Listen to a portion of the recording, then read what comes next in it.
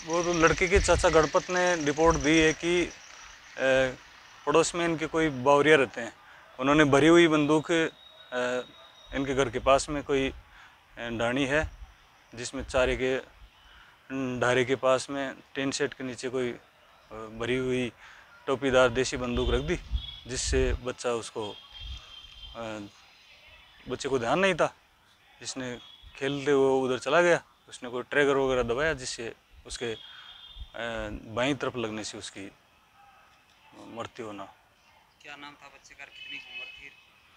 क्या काम बच्चे का नाम शुभम है और उम्र करीबन 11 साल है और बच्चे के पिता आर्मी में सर्विस करते हैं।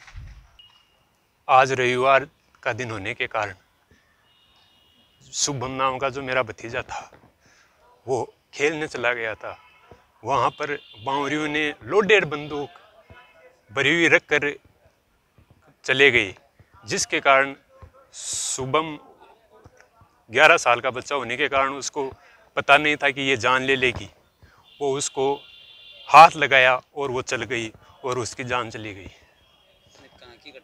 ये श्योर छोटी गाँव की घटना है। वो हमारे घर पर रख चले गया। बावरिया। उस बावरिया का पता नहीं है क्या नाम था। हमने तो तीन चार के नाम बता दिए उनमें से एक है।